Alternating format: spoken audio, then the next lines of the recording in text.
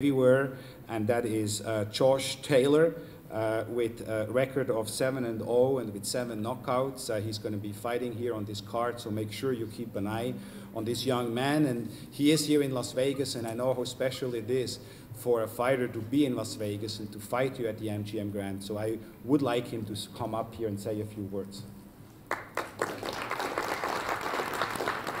Good afternoon, everyone. Hello. Um, just want to say I'm so excited uh, to be here in Las Vegas. It's the first time I've ever been here.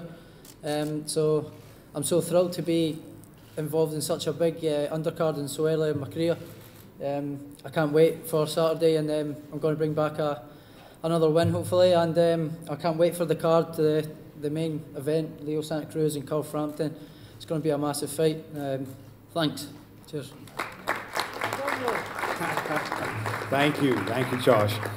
So the first fight up on the uh, Showtime Extreme telecast